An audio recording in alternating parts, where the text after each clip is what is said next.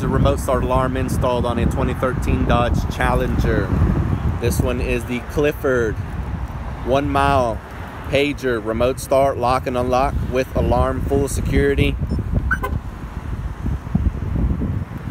This remote has 5,000 feet in the distance. It is a rechargeable remote. There are no batteries to this one. I'll show you the spare. This is what it looks like lock, unlock, remote start, pop trunk.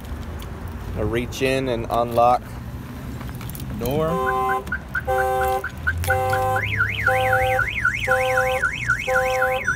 Here the remote is telling us that the door has been opened.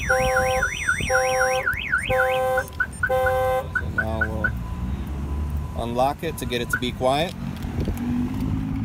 Here is the alarm that was installed.